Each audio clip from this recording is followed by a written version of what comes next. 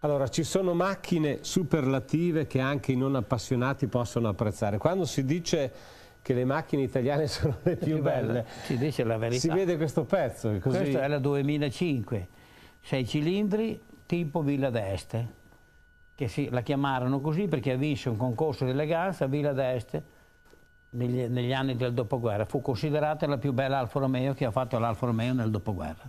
È un'auto di una straordinaria sì, eleganza. Sì, sì, delle linee veramente incredibili. Questo è il lavoro della carrozzeria Touring, sì. quindi tutti in alluminio.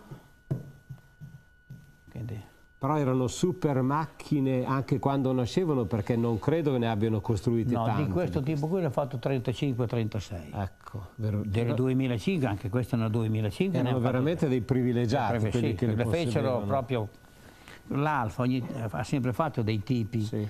delle serie per, per movimentare, sì, no? capito? Non voleva essere una fabbrica che faceva le macchine, voleva fare le macchine che avessero uno stacco dalle altre, ecco. Eh certo, in questo caso c'è riuscita eh, a pieno perché è una vettura... È certo che per un innamorato dell'Alfa come lei avere questo no, pezzo deve essere stata è, una grande soddisfazione. È, è difficile, difficile. trovarli. Questo è originale come è nata, perché a me piacciono non le macchine luccicanti, ma che siano come sono nate.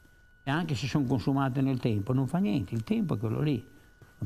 Quindi io quando ho trovato le auto, se le ho trovate complete, non è che le ho fatte restaurare tutte, ho fatto restaurare solo quelle proprio che non si potevano, ma le rimanenti ho sempre cercato di fare un stato di conservazione, perché la storia non si può cambiare. Effettivamente si capisce meglio ancora oggi cosa sia il mito Alfa Romeo anche all'estero, perché stavo guardando questa bellissima... Che vettura è questa? Questa è un Alfa Romeo 2005 SS, che vuol dire super sport, a tre carburatori, che è nato del 52-53. Spider, Spider, che è un 2 secco. È un 2 secco. Ma questa qui forse era per il mercato americano? No, anche per quello italiano, sì. comunque è andata anche all'estero tante. La vettura bellissima. Che costava più di 3 milioni allora, quindi 3 milioni del 52-53 sono soldi. Sono soldi, eh. sì. Comunque era, era, il massimo della nostra... In tutte le riviste del mondo, perché lei è modesto e chi eh. parlano della sua collezione citano questa Fiat Kiribiri, sì, sì. che io poi ricordo in un vecchio libro dove l'ho visto in una foto in bianco e nero perché la usarono per fare il record. Sì, il record.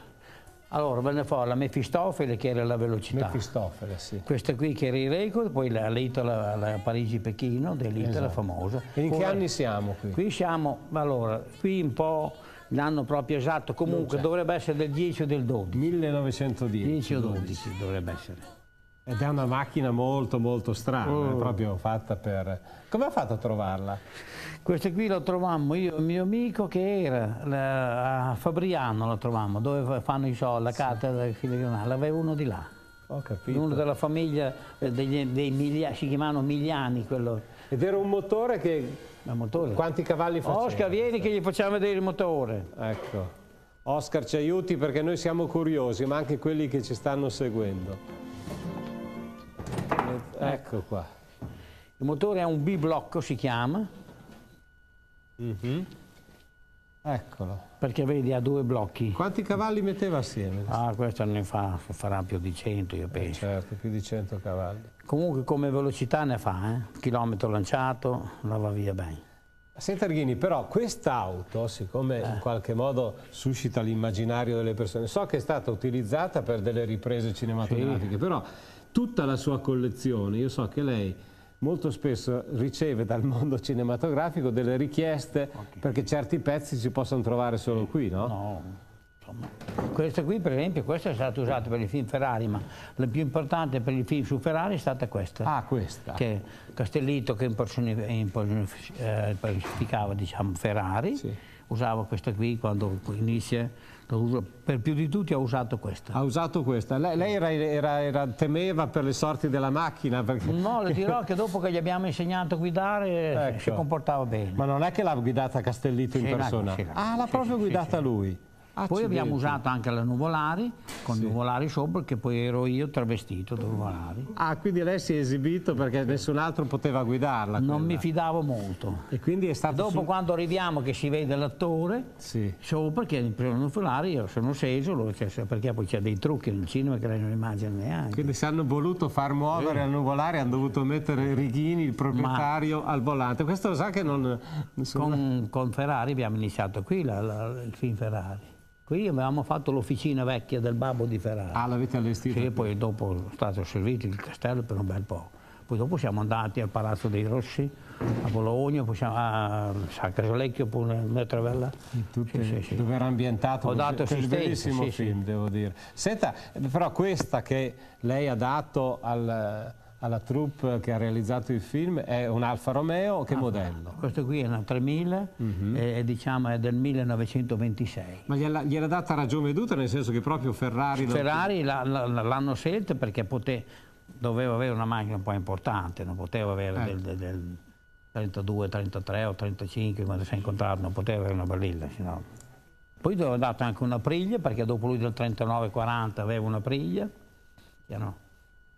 Quindi è davanti alla macchina da presa, è tornata integra, sì, sì. perfetta, bene. Qui quando c'è, se lei vedi fin quando inizia, c'è quel bimbo che attraversa, sì. che le dà la frenata, che dopo c'è la maestra, che poi si, si innamorano. Si innamorano. Eh, si innamorano. Poi dopo lui andava con quella presa che le portava a spasso. Però Castellitto le dirò che è una brava persona, un autore che non è un caricato, ne ho trovato dei caricati, ma lui no, veramente auto appartenute a grandi personaggi, c'è anche, qui vedo, un'auto ma siamo sicuri, Righini? Io di lei mi fido. La storia dice così. Poi è appartenuta a Benito Mussolini. La storia dice così. Oh. Ma nel senso che era un'auto di rappresentanza o era personalmente no, del Duce? Per me era personale. Ah, ecco. Cioè era nel suo garage, sì, insomma, assieme garage. ad altre magari. Io l'ho comprata a Roma, questa. Però è provato che appartenesse Il libretto c'è, c'è certo. tutto. Ah, c'è scritto proprio? Sì, sì. Benito Mussolini, Alfa Romeo, che Alfa Romeo è questa? Questa è una 1750. 1750. L'ha trovata non in buone condizioni, vedo. No, volevamo adesso, purtroppo i cusini non c'erano più, uh -huh. stiamo vedendo di ricostruirli per farceli. Era comunque una bellissima auto. Sì, un'Alfa. Teniamo calcolo che la presidenza del Consiglio c'era anche loro, Mussolini, delle auto ce n'era. Ce n'erano, eh? Eh, certo. Io quando ho comprato al Ministero del Tesoro a Roma, comprammo 200 automobili, io e mio amico ne avevano 500, il Ministero del Tesoro a ferme, ce n'ho ancora una che è una 2008, ce l'ho da un'altra parte.